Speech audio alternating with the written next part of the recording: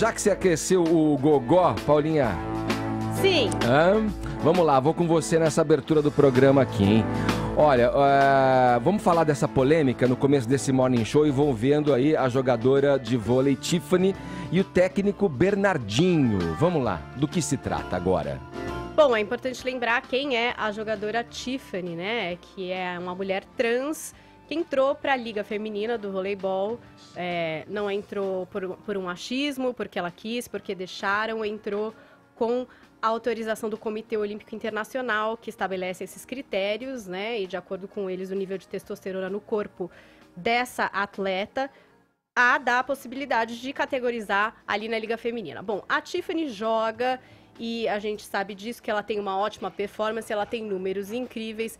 Muita gente questiona, né, a entrada dela como uma mulher trans, se ela estaria ali, é, impede igua- igualdade com as meninas. E o que aconteceu é, numa partida das quartas de finais da Superliga Feminina entre o SESI Bauru, que acabou eliminando o favorito o Sesc é, do Rio de Janeiro, Que é foi o time uma- do Bernardinho, né? Exatamente. Ele Foi uma dirige. fala do técnico Bernardinho depois de um ataque da Tiffany. E essa essa fala, a gente não vai ter a fala, porque na verdade é uma leitura labial bem clara que você pode fazer ali da transmissão de televisão e que acabou replicada também nas redes sociais através do Angels Volley, que é um time de voleibol LGBTQI que resolveu é, mostrar a sua indignação por essa fala do Bernardinho. A gente pode assistir ao vídeo aqui, só que eu vou dizer para vocês o que ele fala na leitura labial. Um homem é foda. Então, essa é a frase que você consegue constatar aí da leitura. Você pode colocar o vídeo, por favor, Murilo? Olha lá. Olha aí, vai rolar o ataque. Rolou lá a batida da Tiffany. É, dá pra saber. Um homem é foda, né? Então é o que diz ali o Bernardinho. É, enfim, aí houve esse post na rede social de indignação. ah, e depois a resposta do Bernardinho nesse próprio post. Ele resolveu ir lá e dizer o seguinte: Peço desculpas a todos, não foi minha intenção de forma alguma ofendê-la. Me referi ao gesto técnico e ao controle físico que ela tem comum aos jogadores do masculino e que a maior parte das jogadoras não tem. Sempre trabalhei e tentei ajudar com meu trabalho diversos jogadores e jogadoras sem qualquer tipo de preconceito. A Tiffany, dou meus parabéns pela grande atuação e conquista, e a todos que se sentiram ofendidos, reitero minhas desculpas, pois jamais foi a minha intenção. E aí, depois disso, claro que houve repercussão, né, Edgar? As pessoas nas redes sociais eh, se dividem aí entre achar que é válida, sim, a participação da Tiffany e achar que não. E a gente teve também o comentário da Ana Paula Henkel, ex-jogadora, e que é crítica desde o início da entrada da Tiffany, ela é crítica a entrada dela. E ela diz o seguinte, ó, leio que a militância a favor de trans no esporte feminino e contra as mulheres atacou Bernardinho por ele ter dito a verdade que Tiffany tem um ataque de homem. Minoria barulhenta que quer empurrar a todo custo que sentimentos são mais importantes que fatos e biologia. Não são.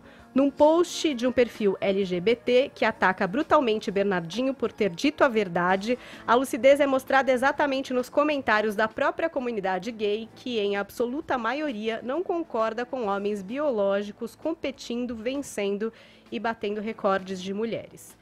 Então, tá aberta a discussão, querido Edgar. Quero saber o que é que vocês acham dessa polêmica. Não é a primeira vez que a gente debate É. aqui no Morning Show. Logo Então, no início, quando surgiu essa questão, a gente falou a respeito. Quero ouvir aqui os amigos de bancada. Aqui E a começa. minha opinião se mantém a mesma daquela, daquele início que a gente teve de discussão sobre a Tiffany, Edgar, porque a gente ainda não tinha os números dela no, no vôlei feminino. Sim. Mas os números dela estão se provando que, de fato, ela leva uma certa vantagem. Até pelo histórico dela quando ela jogava no vôlei masculino. Sim. Ela tem sido muito superior às outras atletas. E o Bernardinho, eh, o Bernardinho não é o cara mais calmo, né? Ele é, ele é competitivo, ele, ele é explosivo. Então, na hora ali, pode ter sido até uma frase um pouco eh, indelicada, mas eu acredito que ele falou aquilo que representa a verdade. A Mas ele, se- tem ele, E sim, é... tem levado uma vantagem no, no, no, no vôlei feminino, sim. Mas ele, ele se posicionou quanto a isso, né? Sim, Pediu desculpas. Pediu desculpas, tá tudo Foi ok. um erro, não quis ofender ninguém. Sim. A questão crucial que está colocada aqui é se ela leva Ela vantagem leva vantagem. Pra mim, sim. ou não. Ô, Edgar, e só Né? pra ficar claro, porque muita gente tá nos acompanhando só pelo rádio, na imagem ali a gente vê que ele tá falando como se fosse pra si. Um desabafo. Tanto que pra gente voltado captar essa frase, teve que ser feita uma leitura Sim. labial. É, Ele não não foi- foi, reclamar com não sei alguém. se pra si ou pra outra pessoa, É? Porque a gente não, vê a o que imagem parece é que ele faz. Não, não, é ele uma espécie de desabafo. banco, gente. tipo, pensou alto, uma coisa assim. Pensou alto, soltou ali aquela Mas coisa. é um momento ali que é, é muito instantâneo, né? Você tá perdendo, é, é, é um jogo, é uma competição. Então você Uhum. acaba soltando mesmo. E como você falou, ele já se desculpou dessa parte. Agora, eu acho que ele tá correto quando se tem um entendimento que a Tiffany tem levado uma certa vantagem no esporte. Hum, Eu me informei a respeito pela postagem do Angels Volley, né? Que é um, é um time LGBTQI militante de Isso. voleibol. Exatamente, que foi quem fez É. o post e repercutiu na internet. Se referindo ao Bernardinho, o herói do esporte brasileiro, da seguinte forma, abre aspas, transfóbicos e homofóbicos não vão passar sem serem apontados na nossa página. Pode ser o papa do vôlei. Vamos desmascarar todos. Parabéns para o time feminino do vôlei Bauru, mulheres incríveis que ganharam jogando por merecimento e sem nenhuma vantagem. Olha o nível de hipersensibilidade da militância gay. Dizer que um ser humano biologicamente masculino joga como homem se tornou preconceito. É um ato de discriminação. Taxam um herói nacional como transfóbico, Não, não, como não, mas, homofóbico. Caio, mas essa afirmativa dele, um homem é foda, é transfóbica, Ai, obrigado, desculpa. Paulinha, é a mesma coisa que Discordo dizer assim, eu tô falando totalmente. sério, você não falou outro dia aqui que os A negros, população trans eles têm de você. vantagens físicas, por exemplo, você falou outro dia aqui no programa, que atletas negros têm vanta- vantagens físicas. Sim. É a mesma coisa... Essa aí- eu acho que é a questão Não, não. É a mesma coisa de dizer assim, ó, no, no questão, eu tô, não Da tô nossa falando discussão se ela aqui. deve ou não participar, tô, questão, tô querendo dizer no que ele disse. Um homem é foda. Ela não é um homem, é uma mulher trans. Naquele contexto, Não, não, não, ela e ele não foi é um muito homem. claro, o Não, ataque ele é se- masculino, ele a se força enganou, masculina, a ele pediu pujança é desculpas, Ele masculina. ofende ela falando isso. Ele se desculpou. Ele se desculpou. Você acha então que o Bernardinho é transfóbico e homofóbico? Não, eu acho que ele fez uma coisa. Ele falou. Vamos desmascarar uma fala... todos. Transfóbicos e homofóbicos Caio, não vão ele passar. fez uma fala transfóbica e pediu não, mas desculpa. aqui, aquele não- não- o, o Ele post não se refere, ele não se refere à fala, se refere ao caráter da pessoa. Não, ele se refere à fala, o post Não, é o da fala dele, não é é um compilado para da o vida. Bernardinho, Mas é ele fez, ele fez uma fala transfóbica e Mas pediu desculpa. da e se fala, ele né? falasse assim, ó, é, essa, essa preta é foda, os pretos foda, você ia achar legal? É a mesma coisa. Você falou que os negros têm vantagens físicas e tem mesmo, são, são mais potentes. É que nem é, uma iraniana não é também mais potente? Agora, usar do jeito que ele falou, homem é foda, a o que ele usou foi transfóbico e ele pediu usou- desculpas. Ele usou um Agora, atributo a genético questão... para caracterizar Não, a não, pessoa ela e de não certa é, forma isso é, é legítimo. Trans, ela é uma mulher trans, ela tem que ser respeitada. Socialmente, mas Caio. é com certeza ele respeita ela. Não, Agora, tá, achar um cara de homofóbico e transfóbico por causa disso, aliás, Ele já que foi transfóbico. Se ele não é transfóbico, ele pediu desculpas Ele até acha- e ele pode eu- respeitar. ele reconheceu e até isso, mais quando fazer o post trata ele como transfóbico que precisa ser desmascarado. E Qual já é o que você to- problema? já ele que foi você transfóbico trouxe nessa fala. Você não consegue entender que ele foi transfóbico já que você nessa trouxe, fala? eu, eu discordo, já que ele- você trouxe a, a teoria progressista do privilégio, né? Então, tratar vantagens naturais e circunstanciais como privilégio. Não é, circunstância Bom, ela ser uma mulher Não, trans. calma então, vamos, vamos, mas calma aí. Olha a pergunta que eu tenho pra você, que é a seguinte, que é aquela pergunta pra dar o bug nosso de cada dia na esquerda. Nascer homem e competir entre mulheres não é privilégio? Porque, segundo a militância, que está ideologicamente cega e cognitivamente imune, a Tiffany joga, abre aspas... Aí você tá na outra discussão. Sem nenhuma Você tá na vantagem. outra discussão. Não, a é discussão meu se ela deve participar ou não está aberta aqui e eu não tenho resposta para isso, nem o COI. Porque o COI não tem pesquisas que determinam de fato se a ausência de testosterona, que é o caso da Tiffany, tá? Se há quanto tempo precisa de ausência de O que, testosterona que você pra isso acha, Paulinha? Você, diferença. você consegue ter. Cientificamente, o que eu que não posso acha? me colocar a respeito disso. Agora, Mas a, a tua fala opinião, do qual é? Bernardinho foi transfóbica, tanto que ele pediu Sim. desculpas. Isso Ele é reconheceu é, é, Agora, que foi a transfóbico Tiffany e pediu deve desculpa. estar ali. Eu acho que o COI Essa é a chegou discussão a uma acho. conclusão. A conclusão do COI, e inclusive de pessoas aqui que, enfim, estão lá corroborando para essa atitude, que não é ela que pediu para entrar e deixaram. Você entendeu?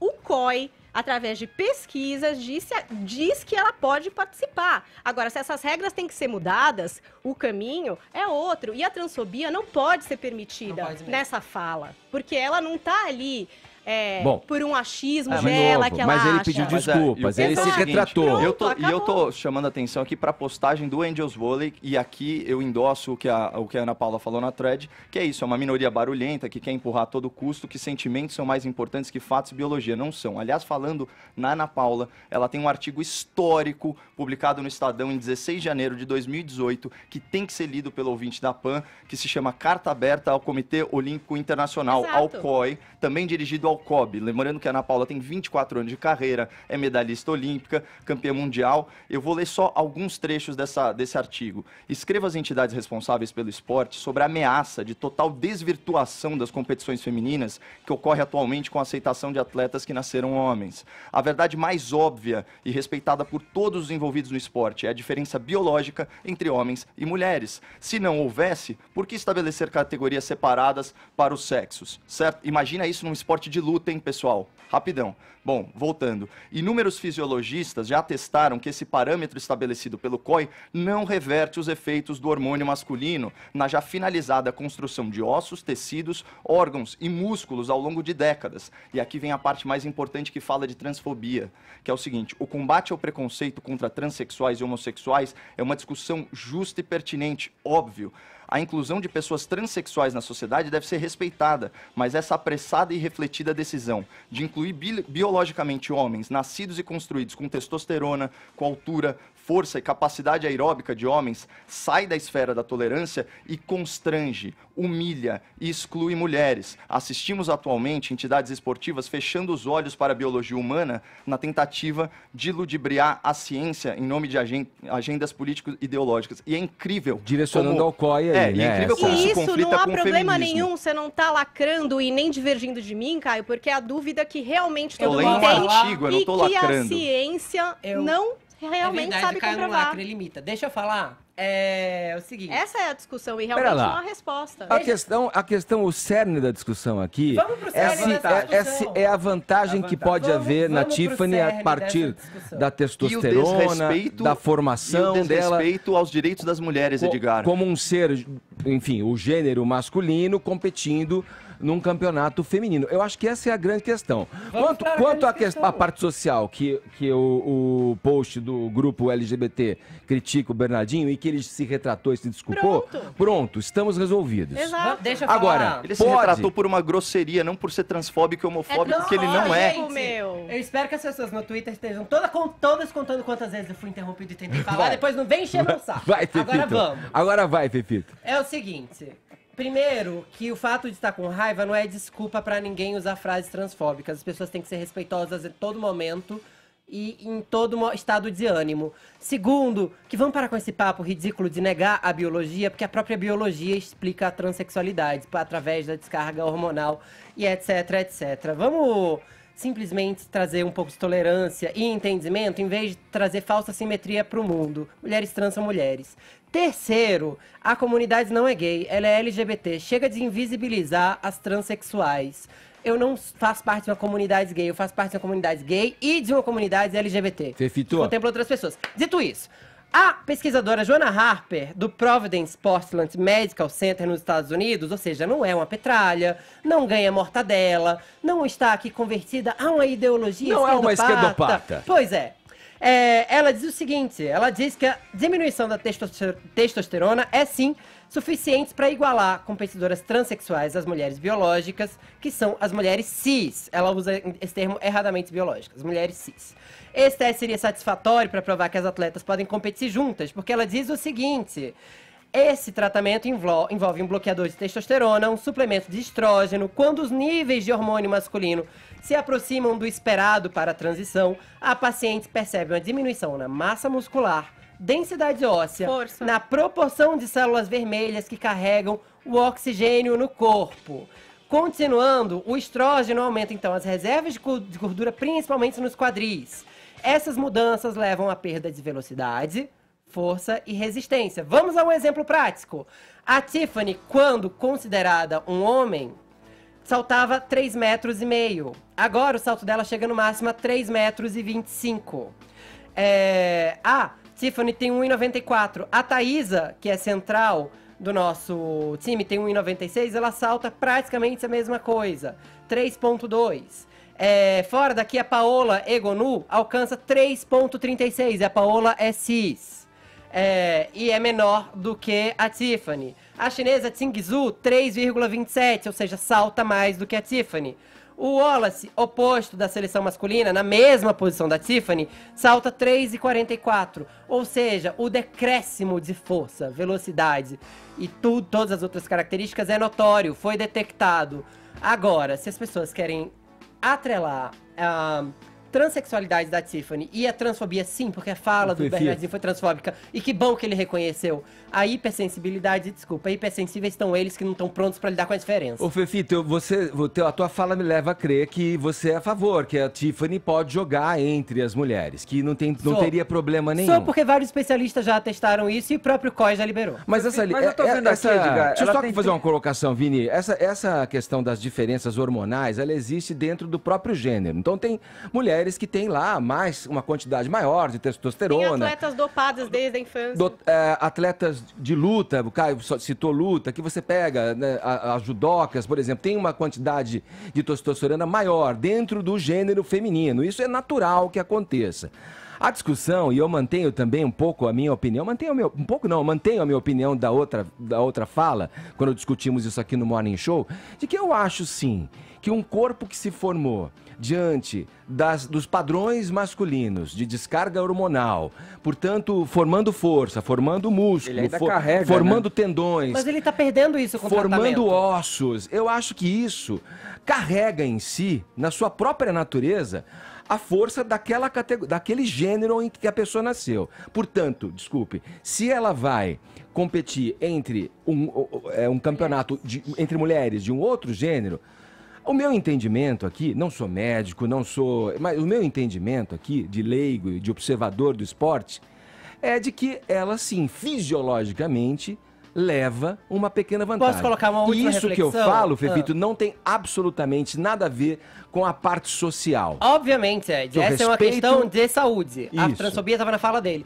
Acho que a última questão que a gente tem que colocar aqui é o quanto disso é uma imagem que a gente tem atrelada do que é masculino e feminino e o quanto disso é levar de fato o que a ciência diz em consideração. Porque eu acabei de falar de uma médica super respeitada dos Estados Unidos e ainda assim a gente está atrelado ao que é homem e ao que é mulher. A quem tem músculo e a quem não tá. A própria médica, a própria medicina tá provando que ela tá se igualando às mulheres nesse sentido, que ela tá perdendo massa, tá perdendo densidade Mas o óssea e mundo é- tem homens e tem mulheres. Isso, Tem, e ela é uma mulher é agora. E olha fato. só, e ela tá com a mesma massa, tá com, a me... tá com um corpo Eu preciso, parecido. eu preciso fechar, Só- gente. só Só- considerações só que- finais, concluir também. Caio, rapidinho. Vamos mudar assim, o. A Tiffany, eu acabei de ver aqui, ela tem 34 anos. Quer dizer, ela já joga vôlei há bastante tempo. E só agora, recentemente, que ela tem atingido esses números de destaques, porque está jogando no vôlei feminino.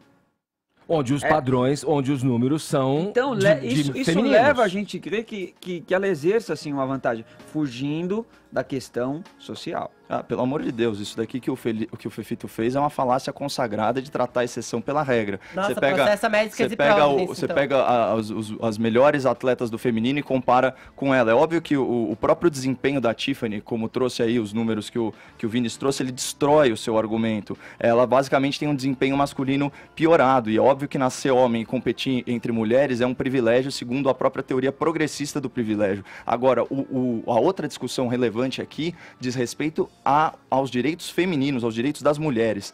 A conclusão do artigo da Ana Paula diz o seguinte: o esporte sempre foi um grande e respeitado veículo de conquistas femininas, uma arma que sempre evidenciou o valor das mulheres, aqueles que tentaram impor limites aos sonhos de todas que lutaram e lutam para mostrar nosso verdadeiro talento, capacidade de superação e mérito. Então, concluindo, eu aceito com empatia, de coração aberto, a mudança social de gênero. Esse não é o ponto. Socialmente, não há problema em tratar um transexual conforme a sua identidade, é, conforme o seu gênero de escolha, vai, vamos dizer assim. Só que negar a biologia, especialmente em detrimento dos direitos das mulheres conquistados a duras penas, isso é um despropósito e a Ana Paula falou muito bem. Eu me recuso a ceder o meu lugar no esporte feminino para homens biológicos. Eu queria dizer que o feminismo, absurdo vi isso, o gente. feminismo Desculpa, Eu abarca tô saindo do estúdio, eu volto no final.